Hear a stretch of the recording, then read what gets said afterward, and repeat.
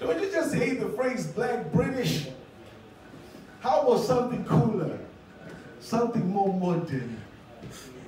Something like British. you think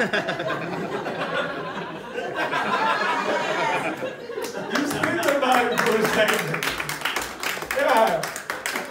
It's pretty crazy. Like, is skin color really that important? There's no ginger British. There's no bold British. There's no skinny British. But black British?